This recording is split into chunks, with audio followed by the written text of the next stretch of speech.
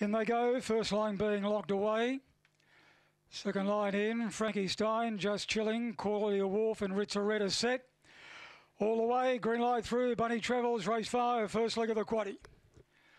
Ready, Racing and beautifully away. Frankie Stein landed in front of Big Bad Agnes and Willie Mays Hayes as Milu she went to the lead. Oh, followed in by Daily Night Out and Ritza Red. The next one just chilling. Pit Boss ahead of that. Losing ground. Daily Night Out dropped right out of it. Claudia Wolf the tail ender. Willie Mays Hayes on the corner by five over Big Bad Agnes. The outside Ritza Red and next Frankie Stein. But Willie Mays Hayes is going strongly in no danger. And Willie Mays Hayes got the money. Nearly a dead heat second. Ritza Red and Big Bad Agnes. Frankie Stein Steins run fourth from Daily Night Out. A break in the field, just chilling Claudia Wolf and Pit Boss, the tail ender, in the time at 26 and 38. 26 38. Number five, the winner, Willie Mays Hayes.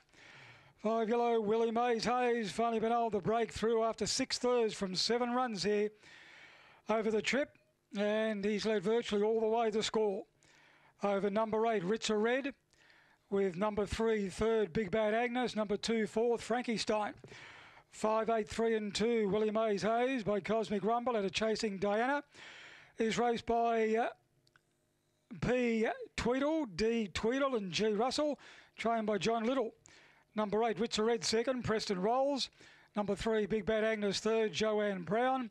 Number two, officially fourth, 1001 and 1960 were the splits. 678 was the run home. 26.38, a good run. Four and three quarters by ahead with the margins.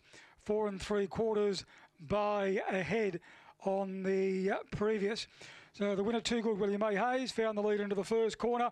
Set up about a four or five lengths break down the side, was always travelling. Never really looked like he was ever going to come back to on this evening.